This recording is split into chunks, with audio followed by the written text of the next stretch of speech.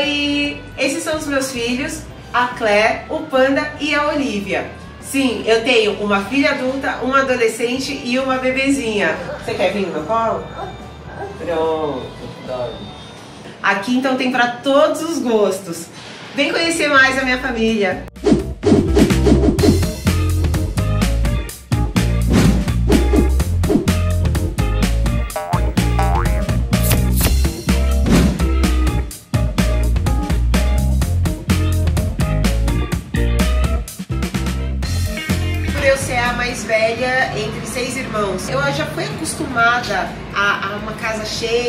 A ver, a cuidar de crianças, a ficar junto dos meus irmãos. Ter muitos irmãos me fez pensar na vontade de ter filhos desde muito cedo.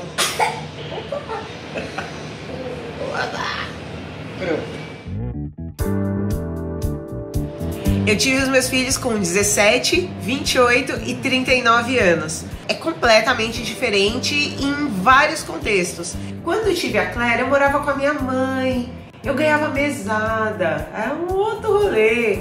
Quando eu fiquei grávida do, do Panda, eu falei pra minha mãe, falei, nossa, eu não lembro de ser tão cansativo fazer as coisas. Aí minha mãe, porque você não fazia as coisas, eu fazia pra você. Quando eu tive o Panda, eu já era mais adulta, mas ainda assim a, a, minha percepção hoje é de que eu achava com 28 anos que tava tudo certo, já sabia tudo e não sabia de nada e tava, não tinha nada certo ainda na minha vida. E agora é uma outra perspectiva. Aí eu falo, a Olivia tem um ano de idade, eu tenho 41. Essa menina já fez muito mais coisa nesse um ano do que eu fiz nesses 41. Eu acho que eu, eu viajei de avião a primeira vez com 38 Olivia já foi pra ilha, já anda de barco, já passeou de avião, já fez um monte de coisa que eu falo, rapaz, olha só, é praticamente a filha da Beyoncé, a criança, toda chique, toda maravilhosa. Eu brinco que aqui as paternidades elas são bem abrangentes, tem para todo gosto. O pai da Claire, a gente não tem contato com ele, então eu sempre fui mãe solo na, na maternidade da Claire. O pai do Panda, ele é o semipresencial porque ele trabalha e mora muito longe daqui, então a gente se fala muito por, pela internet e ele vem uh, esporadicamente ficar aqui com a gente. E o pai da Olivia é o pai presencial. Nós não temos um relacionamento, mas todos os dias ele vem pra cá e fica com ela. Ele é responsável por diversas atividades com ela. Então eu falo que é o, tem o híbrido, tem o presencial.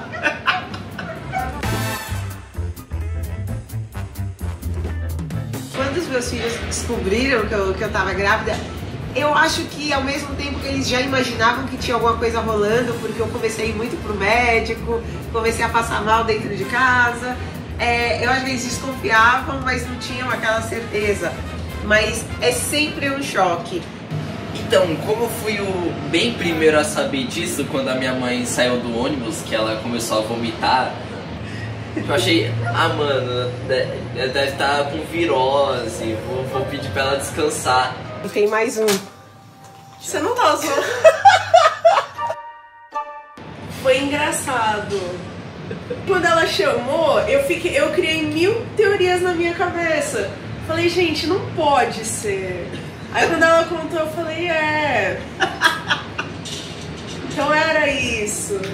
Por que, que ninguém nunca me contou que o período mais difícil não é a adolescência?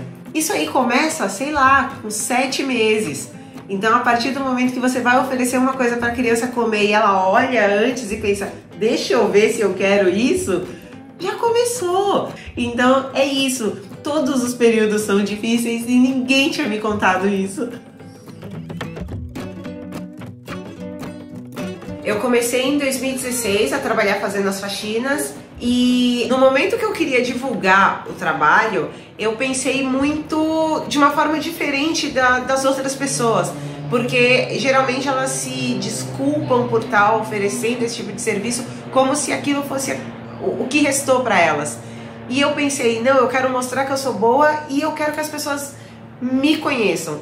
Então, o que, que eu gosto? Se você olhar as minhas tatuagens, elas têm referência de filme, banda de rock, de série, de coisas que eu gosto. Então eu falei, é isso. E aí eu criei cartazes baseados nos filmes e nas séries e nas bandas que eu gosto para divulgar o serviço. E foi muito interessante a repercussão que teve. E aí as pessoas, nossa, é uma faxineira que gosta de rock, que gosta de série. Todo mundo gosta de série, sabe? Todo mundo assiste alguma série. Ô, Olivia! Sem choro!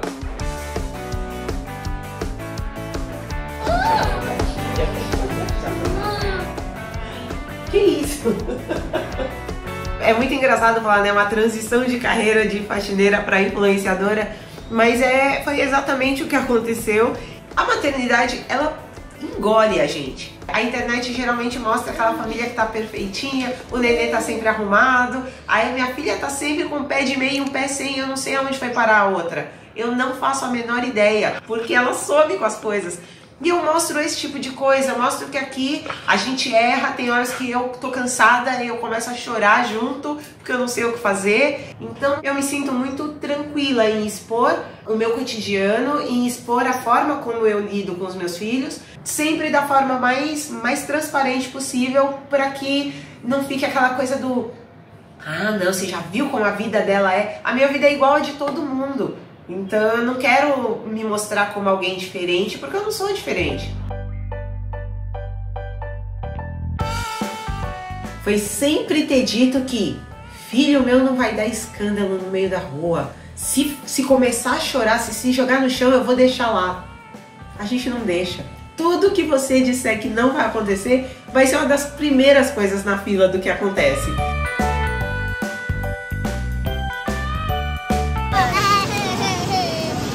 Menina, filho meu não vai dar escândalo assim na rua, não.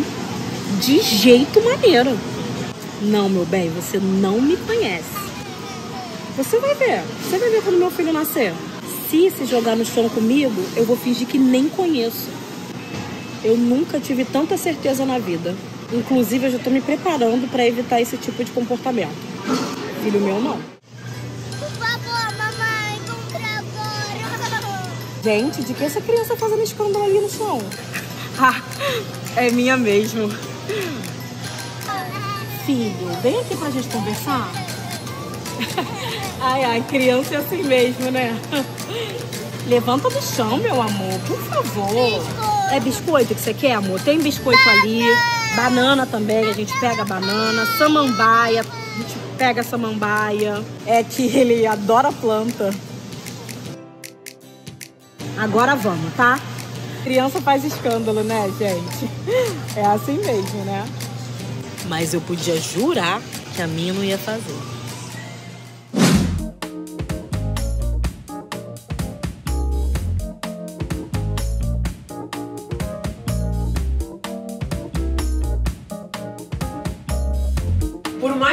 22, eu sou uma pessoa consideravelmente assim para mim, muito antissocial e muito velha dentro de mim. Se você me perguntar se eu saio final de semana, não. Eu saio do meu quarto pra sala, da sala pro meu quarto e acabou.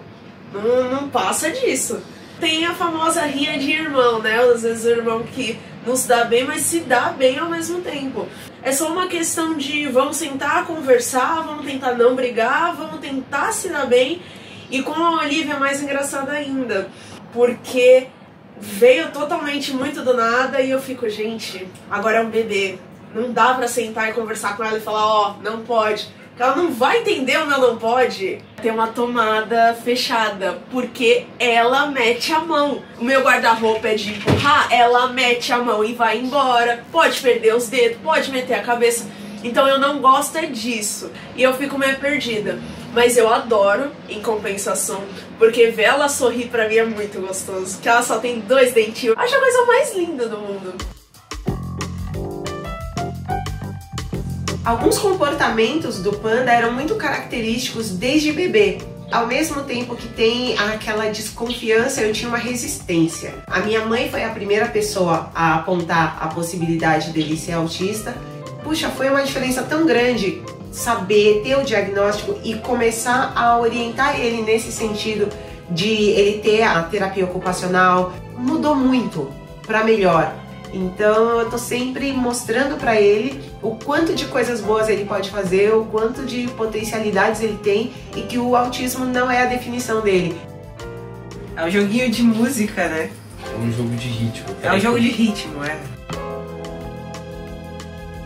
Uau, você resetou o personagem. Ele morreu? Ele morreu. Nós dois, a gente vai ir no, no estúdio aprender a tocar bateria toda quarta-feira. E tipo, primeiro vou eu lá, uns 50 minutos. Aí depois entra a minha mãe e aprende a dar as aulas bem básicas. Mas você gosta de ver a mãe tocar? Sim. Eu também gosto de ver você tocar. É da hora. Que eu já sei, ó. Não tenho uma pretensão musical, não vou montar uma banda. Mas eu quero aprender uma coisa nova, realizar um sonho de infância e ao mesmo tempo é um momento meu, é uma atividade minha, ainda que eu não vire uma grande baterista. É só um momento de diversão mesmo.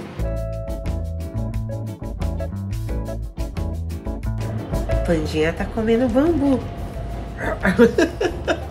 Eu morei de frente para uma biblioteca a infância toda. E hoje eu tenho certeza assim de que eu li pelo menos um terço de tudo que tinha lá dentro.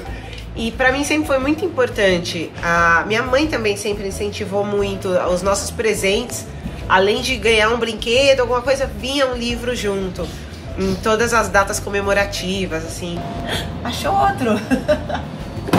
Eu sou uma baita leitora também, como eu gosto de rock, adoro ler biografia de músicos. Agora tô lendo bastante sobre maternidade. Acaba que para eles também é, é, natural porque eles me veem lendo. Porque uma coisa é a gente falar, ai, tem que falar pra criança ler. E aí ela não vê. O hábito ele é criado com a, a prática das pessoas dentro de casa fazendo.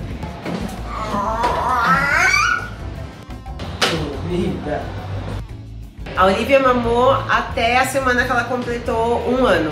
Para ela foi um processo normal, assim, depois da introdução alimentar, chegou um dia que ela não quis mais. Eu fui oferecer para ela o peito e ela começou a rir e balançou a cabeça que não.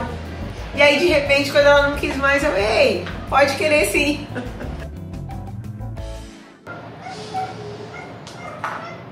E eu tenho sorte que ela come de tudo, ela come super bem, não tem nenhum alimento que eu lembre que ela não goste de comer. Aí, essa é a característica da casa, todo mundo come bem pra caramba.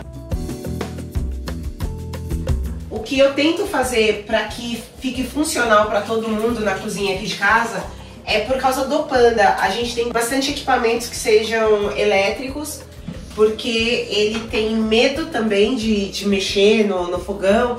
Então ele prepara pipoca, ele prepara sanduíche, ele cozinha na air fryer, tudo ele faz na, nos equipamentos que ele, ficam numa altura boa para ele. Às vezes eu tô trabalhando e eu já falo, Panda, descongela pra mim uma comidinha. E hoje ele escolheu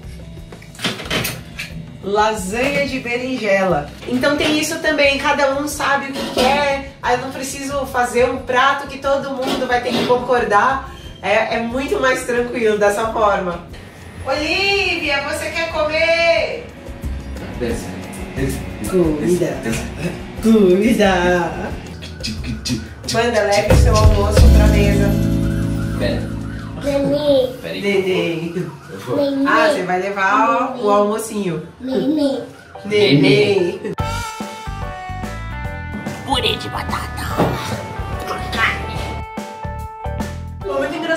Quando chegou a Olivia, a gente começou a ter mais refeições juntos, coisa que não acontecia antes. No máximo a gente sentava em conjunto quando a gente ia comer fora. Mas fora isso, em casa mesmo, graças a ela realmente começou a se tornar mais frequente. Mas ela também que junta todo mundo, porque como ela é engatinha, ela sai batendo nas portas, chamando todo mundo, aí ela vem. Aí a gente vai junto com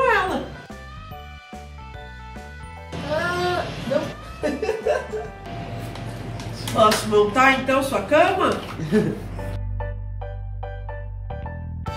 A gente primeiro mantém um carrinho fechado porque a gente tem bastante coisa e muito pouco espaço dentro de casa. E só abre mesmo quando a Olivia vai dormir assim de tarde.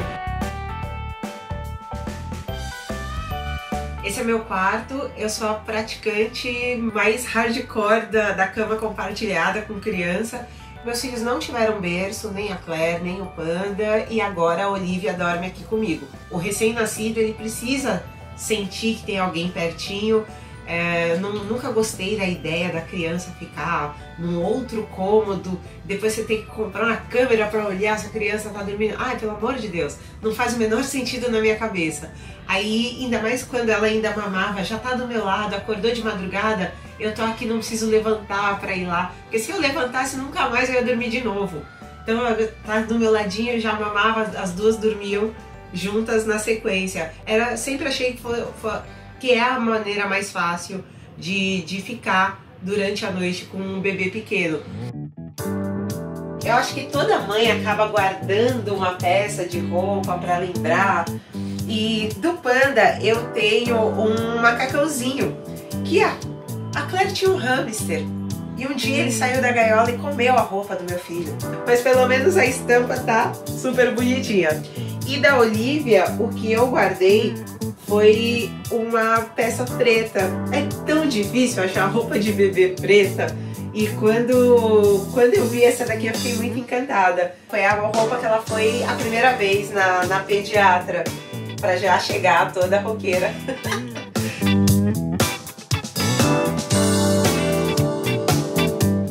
E você, tem algum objeto, alguma roupinha da maternidade que você não consegue desapegar de jeito nenhum? Conta aqui pra mim nos comentários. Pra mim a questão do, do corpo, ela mexe com um bocado de coisa porque eu pesava 45 quilos quando eu fiquei grávida. E aí eu era muito pequenininha, muito magrinha.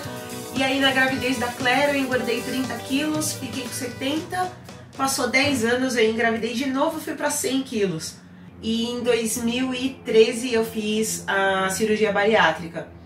E hoje eu peso 65. Então eu vivia na coisa de engordar, emagrecer, engordava, emagrecia. Tenho flacidez, eu tenho sobra de pele. E eram coisas que pegava muito. Quando eu me descobri grávida de novo, eu fiquei desesperada. Falei, nossa, coitado, meu corpo não aguenta mais. Com acompanhamento médico, com acompanhamento de nutricionista, eu engordei 11 quilos. Passou duas semanas, eu já tinha emagrecido esses 11 quilos. Então eu tenho essa, essa preocupação estética, mas a, o fundamento da minha preocupação é a minha saúde, porque afinal de contas eu tenho três filhos para criar, eu não posso viver doente. Eu tenho uma bebê, eu não posso sentar no chão e não conseguir levantar porque eu tô com dor, porque o meu joelho não aguenta. Então eu, eu quero me sentir saudável. Vejo vantagem em não morar com o pai da minha filha, porque assim eu posso fazer tudo do meu jeito. Eu sempre.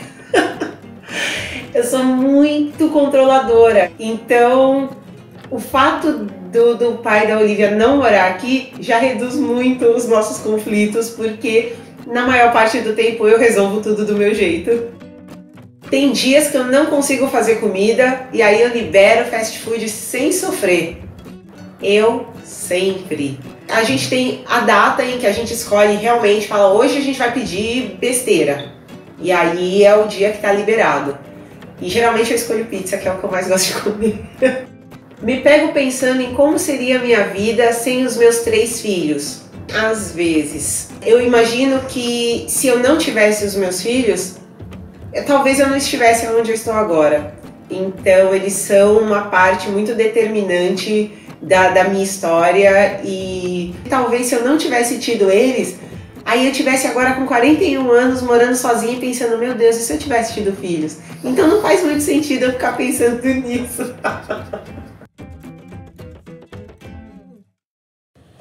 Eu adorei contar um pouquinho da minha vida de mãe para vocês, que ninguém falou que ia ser fácil, mas é uma delícia.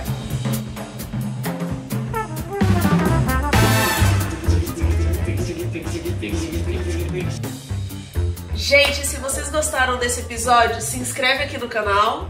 Deixe o seu like e comente sobre a parte que você mais gostou. Tchau, até a próxima!